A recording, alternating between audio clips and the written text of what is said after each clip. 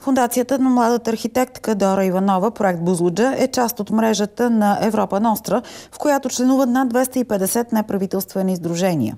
Свидетели сме на една много интересна ситуация, в която има четири факта, които са от, могат да изиграят решаващо значение за бъдещите крачки за опазването на паметника. А именно в момента, в началото на 2018 година, е председателството на България на Европейския съюз. Освен това е факт, че 2018 година е Европейската година на културното наследство. Освен това, тук на, на местно ниво имаме подкрепа относно паметника Бузлуджа в лицето на област Стара Загора и община Казанлък, което е изключително важно за бъдещето на паметника. И на четвърто място, повода по който сме се събрали, а именно номинацията за програмата Седемте най-застрашени. При тази ситуация наистина вярвам и се надявам, че паметникът има шанс сега повече от всякога да бъде опазен. И уважаеми дами и господа, паметникът Бузлуджа не е политическа игра, която се играе веднъж на няколко години. Уважаеми дами и господа, паметникът Бузлуджа е национално наследство. Паметникът Бузлуджа е економически и туристически потенциал.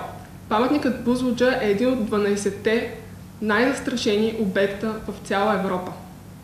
И сега е момента да действаме. Организацията, която се занимава с опазване на културното и историческото наследство, ще подпомогне реставрирането на седем паметника. Ако Бузлуджа е сред тях, ще има гарантирана помощ от комисията, от европейски експерти и специалисти, които ще направят обследване на паметника и ще изразят компетентното си мнение за възможностите за неговата реставрация. Европа Ностра няма да осигури пряко финансиране на евентуалните възстановителни дейности, но попадането на паметника Бузлуджа сред седемте финалисти ще създаде възможности да се търсят различни варианти за спасяване на разрушения монумент. Нерядко, макар да има забрана за проникване във вътрешността на паметника, десетки групи нелегално влизаха, къде от екстремни, така, опит за екстремни преживявания, къде от нещо друго. За жалост, рискувайки живота на, на немалко хора, една малка част от обществото се обогатяваше, защото около 50 евро на човек горе-долу е сумата, която са взимали водачите, гидовете, които са вкарвали 50 евро на човек. Това установиха проверките а, на хората, които са хващани на място вътре в паметника или в, около паметника.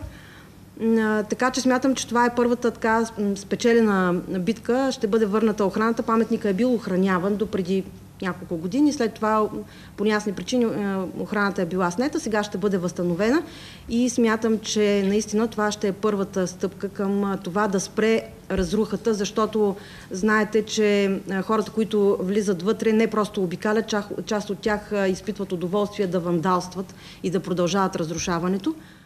Областният управител съобщи още, че в най-скоро време на Бузлужа ще бъде осигурена 24-часова охрана.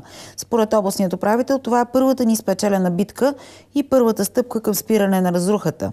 На 15 март Европа на Остра ще обяви 7-те европейски паметника, за чието съхраняване ще бъде оказано съдействие.